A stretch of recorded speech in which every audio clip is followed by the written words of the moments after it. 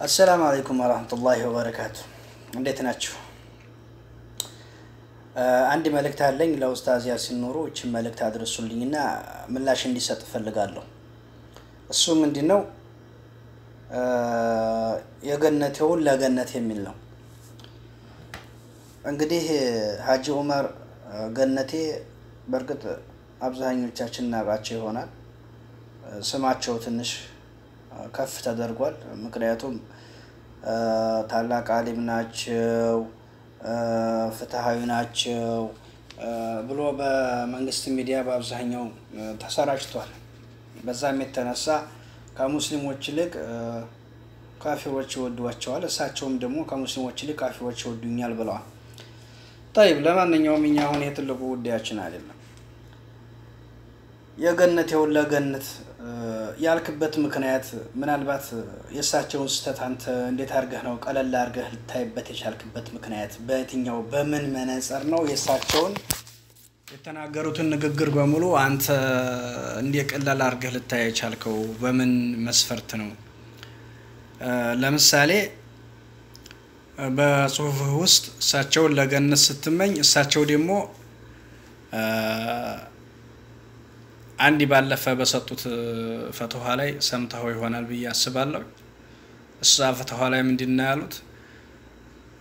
አላህ ከአርሽ በላይ ነው ብሎ የሚያምን ሰው ተብለው ሲጠየቁ ይህንም ብሎ ያለ ሰው ይከፍራል ብለዋል። እሳቸው ምናልባትም አላህ ከአርሽ በላይ ነው ብሎ የሚያምን ሙስሊምን እያከፈሩ እንዴትስ ነው አንተ ለጀነት ልትመኛቸው የቻልከው?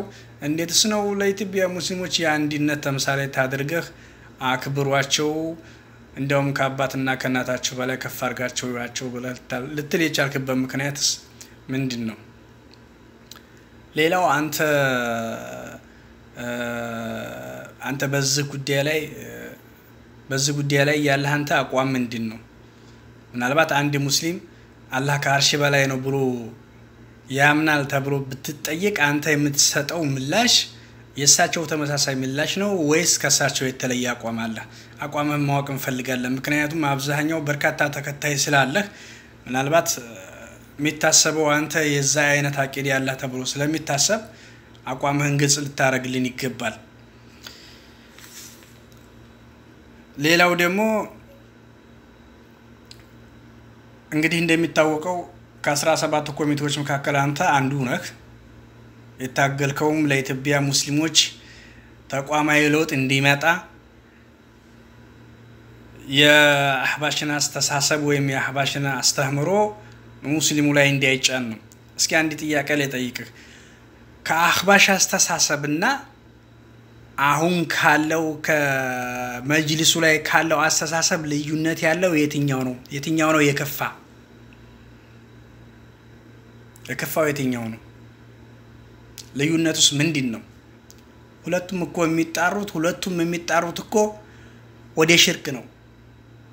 ስለዚህ ሁለቱም የሚጣሩት ወደ ሽርክ በሆነበት ሁኔታ ላይ አንደኛውን አቅፈህ አንደኛውን የምትነጥልበት ምክንያት ምንድን ነው? መቼም የወንጀል ምንድን ነው የሚባለው ምን የሚባለው በእኛ ሀገራችን ዲያለቻ እና ምን የሚባል ነገር አባባል አለ። እናም እንደዛ ያለው ነው። ምክንያቱም እነሱም ያንን ስላልተቀበሉ ነው፣ እነዚኞቹም አይቀበሉ። ስለዚህ እንዴት ነው እነዛኞቹን ለብቻ አግልለናቸው እነዚኞቹን ደግሞ እነዚኞቹ ጋር አብረን የምንስማማበት ምክንያት በምንድን ነው? እነዚህም አያምኑም፣ እነዛኞቹም አያምኑም። ጠይብ ስለዚህ እነዚህኞቹ ጋር ተስማማን፣ እነዛኞቹ ጋር ማንስማማበት ምን የተለየ ምክንያት አለ? ስለዚህ ምክንያቱ የአቂዳ አይደለም ወይስ ጠቡ ወይስ የአቂዳ ከሆነ እነዚህኞቹ አቂዳቸው እኛ ሙስሊሞችን ያከፍሩናል። አንድ ሁለተኛ ነገር መጀመሪያውኑም በመለስ ዘመን እንደዚህ አይነት አስተሳሰብ ያላቸው ወይም ደግሞ ትክክለኛ እምነት ያላቸው ሙስሊሞችን ወይም ሰለፍዮች የሚባሉትን እናጥፋቸው ብዬ ለመንግስት ተናግሬ ነበረ። መንግስት ዛሬ ይሄ ደረጃ ላይ ይደርሳሉ ብሎ አላሰበም ነበር እና መንግስት አልተባበረኝም ብለው በአደባባይ ተናግረዋል። ጠይብ ይሄንን የእሳቸው ስህተታቸው ወይስ አርመው ነው አንተ ዛሬ እንደዚህ ፎቶ አብረሃቸው አቅፋቸው ስማቸው የተነሳኸው? ስህተታቸውን አርመዋል። ካረሙ አርመዋል ብለህ በአደባባይ ያጠፉትን ጥፋታቸውን ይሄ ትክክል አይደለም ብለው መልስ ይስጡ። ችግር የለም እንቀበላለን። አይ መጀመሪያ የተናገርኩትን ፈትዋ ትክክል አይደለም፣ እኔም አቂዳ ይሄድን ይመስላል ያንን ሽር ያለው ካሉ ችግር የለውም። እኛ ከሳቸው የግል ጉዳይ የለንም። ጉዳያችን መጅልስ ላይ ስለሆኑብን እንጂ ታች ተራ ሙስሊም ጋር ቢሆኑ ከሳቸውም የእሳቸውን ስም እናነሳበት ምንም ምክንያት አይኖረንም። ምክንያቱም መጅሊስ ማለት የሙስሊሞች ተቋም ነው። በሙስሊሞች ተቋም ላይ ሆኖ ደግሞ የሙስሊሞችን ጉዳይ የማይወክል ነገር የሙስሊሞችን አቂዳ የሚያበላሽ ነገር ማስተማርና እዛ ቦታ ላይ ሆኖ ነገሮችን ማበላሸት በጣም ትልቅ ጥፋት ነው። ለምሳሌ መጅልስ ላይ ወጥቶ ስለ መውሊድ መጨቃጨቅ፣ ስለ መውሊድ ትልቅ አጀንዳ አድርጎ ማስቀመጡ ለምን አስፈለገ? ምክንያቱም መውሊድ ቢዲያ መሆኑ እሳቸው ራሳቸው ያምኑበታል። ቢዲያ የሆነን ነገር መጅልስ ትልቅ አጀንዳ አድርጎ ማስቀመጥ ለምን አስፈለገ? ሙስሊሞችን ለመበታተን አይደለም? አንተ ግን ሙስሊሞችን ሰለፍያ ሶፍያ ብላችሁ አትከፋፍሉን ትላለህ። ጠይብ ስለዚህ መውሊድ ሲገባ እዛ ቦታ ላይ ቢዲያ የሆነ ነገር ሲገባ ሲከፋፍለን አንተ ለምን ዝም ትላለህ? ይሄ ነገር መግባት የለበትም ብላ አትቃወምም? ትክክለኛ ኢስላም ጠፍቶብህ ነው? ጠፍቶብህ አይደለም። ሰዎች እኮ መውሊድ ብለው ሂደው ድንጋይ እየተሳለሙ ነው። ሰዎች እኮ መውሊድ ብለው ሂደው ተገቢ ያልሆነ ዚና እየተሰራ ነው። ሰዎች እኮ መውሊድ ብለው ሂደው የአላህን ሀቅ ለድንጋይ ለፍጡር ለማይሰማ ነገር እየሰጡ እየመጡ ነው። ሰዎች እኮ ስራ መስራት ሲገባቸው ሀድራ ብለው ቁጭ ብለው አርባ ሽሪን ሰዓት ጫት እየቃሙ ጊዜያቸውን እያባከኑ አገራችን ለውድቀት ሙስሊሞች ለውድቀት ሶላታቸውን እንዳይሰግዱ እጫት ላይ ጊዜያቸውን እያባከኑ ነው። ይሄ ሁሉ ከአንተ ተደብቆ ነው? ጠፍቶብህ ነው? ለምንስ ነው መውሊድን አንተ እንደ ትንሽና እንደ ጥቃቅን አቂዳ አድርገህ ልታየው የቻልክበት ምክንያት ምንድን ነው? ለምሳሌ አንድ ሰው መውሊድ ሄደ። መውሊድ ሂዶ መውሊዱ ላይ የሚሰራውን ነገር ጠፍቶብሃል? አንተ አታውቀውም ምን እንደሚሰራ? ሙስሊሞች ከሌሎች ሃይማኖቶች እኮ እስልምና የሚለየው እኮ በአሃዲያዊነቱ ነው እንጂ ሌሎችን ግብስብስ አድርጎ በመያዝ አይደለም። አላህም ብቻ በመገዛት ነው። አላህም ብቻ እንድንገዛ የታዘዝን ሙስሊሞች ቀብር ሂደው ሲሳለሙ፣ ለቀብር ሲያርዱ፣ ለቀብር እርድ ሲያቀርቡ፣ ለቀብር ስለት ሲያስገቡ፣ ቀብር ላይ ሲያድሩ ሲውሉ ሶላታቸውን ትተው ይሄ እንዴት እንደ ቀላል ነገር እንደ ትንሽ እንደ ትንሽ መጨቃጨቂያ ነገር መስሎ ሊታይ ይቻላል። አንተ አብዛኛቱ የሀገሪቱን ክፍሎች ከወዲህ አይታቸው ከሆነ ታውቀዋለህ። እናውቃለን፣ በእኛ አካባቢያችን እናውቃለን። ቀብሮች በሙሉ ተከልለው በየቀኑ ይመለካል። ይሄ ሁሉ እንደ ቀላል ነገር ታይቶ መጅሊስ ብሔራዊ በዓል ብሎ እስከ ማወጅ ድረስ በቃ። ይሄ የሆነበት ምክንያት ምንድን ነው? ላይ የተቀመጡት ሰዎች ትልቅ ስህተት እየሰሩ ያሉት ምንድን ነው? ቢዲአ የሆነን ነገር እንደ መልካም ነገር ተቆጥሮ መጅሊስ ውስጥ እንዲገባ ተፈልጓል። እንዲያው ለነገሩ አይደለም ሲ ቢዲአውን አይደለም እንዲያው አገራችን ላይ ዋና ዋናውን ነገር ሱና የሚባለው ነገር ተሰርቷል፣ አልተሰራም።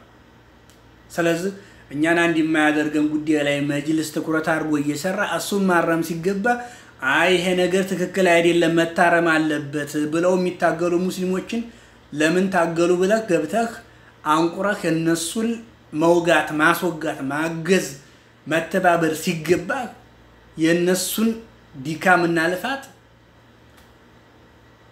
ውሃ ታስበላለህ። ይሄ ነገ አላህ ፊት ያሳፍርሃል። አላህ ፊት ያሳፍርሃል። ወርደህ ወርደህ ወርደህ ወርደህ ታች የመፈጥፈጥ ምክንያት እንዲህ አይነቱ ጃህል መልስ ሊሰጥ ቀረበ። ምክንያቱም ላይ ያሉትንማ ቢመክሩህ ቢዘግሩህ ቢመክሩህ ቢዘግሩህ አልመለስም አልክ። እንዲህ አይነቱ ጃህል እየመጣ ለአንተ መልስ ይሰጣል። በቃ እንግዲህ አንተ ደረጃ እኛ ጋር እኛ ጋር ነው። ታች ላይ ያሉት ለአንተ መልስ መስጠት አይችሉም። ምክንያቱም አሰማማ ሀገራችን ተጫፍ እስከ ጫፍ በሽርክ ጥልቅልቅ ብላ ተሞልታ አንተ ምንም አያሳስብህም። መውሊድ እኮ ቅርንጫፍ ነው ስትለን እኮ ነው ያበቃለን ያንተ ነገር። ለነገሩ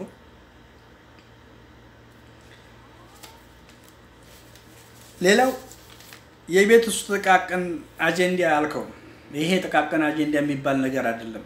መጅልስ ለእኛ ጥቃቅን አጀንዳችን ሳይሆን ትልቅ አጀንዳችን ነው። ምክንያቱም መጅሊስ ባለመስራቱ መጅሊስ ባለመጠንከሩ ሙስሊሞች ብዙ ተጎድተናል። በሀገራችን ላይ የሸሪያ ፍርድ ቤቶች ጠንክረው እንዳይሰሩ ሸሪያን በሚገባ እንዳይተገብሩ እንቅፋት ፈጥሮባቸዋል መጅሊስ። ሙስሊሞች በተራ ጉዳይ በተራ አጀንዳ ተጠምደው እንዲቀመጡ በዋና ጉዳይ ላይ አተኮረው እንዳይሰሩ አቂዳቸውን ውሃ እንዲበላው ተደርገዋል።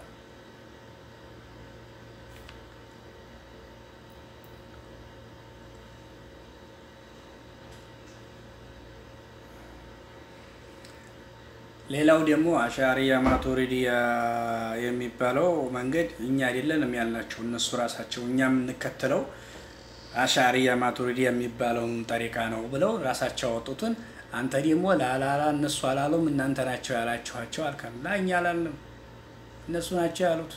ስለዚህ እነሱ በዚህ ጠሪቃችን ነው የምናሄደው ብለው እነሱ ባለ ጠሪቃዎቹ ነው ሲሄዱ፣ አይ እነሱ ይህን አላሉም ብለህ አንተ ለምን ለምን የሰው ትሸፋፍናለህ?